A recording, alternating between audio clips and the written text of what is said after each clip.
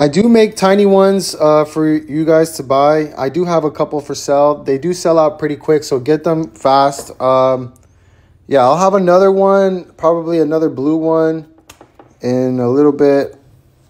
Oh, man.